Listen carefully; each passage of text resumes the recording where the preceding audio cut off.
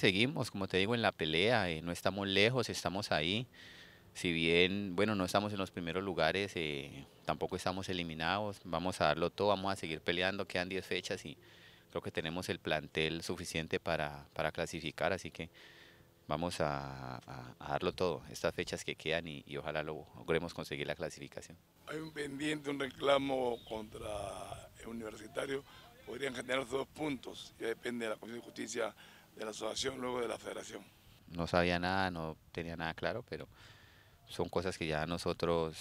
eh, ya no nos no tiene nada que ver con, con nosotros, ya se encargarán los, los entes pues en ese aspecto y nosotros eh, seguir en, lo nuestro que es preparándonos para, para enfrentar a Sullana y, y ojalá poder, poder sumar tres puntos más. Ya se empieza una nueva semana y, y así nos toca a nosotros en el fútbol ya eh, corazón fuerte y pensar en, en, lo que viene, no hay tiempo de lamentarse, de llanto, sino en pensar ya en Sullana y, y salir convencidos que la necesidad de los tres puntos ahora más que nunca va a ser muy importante.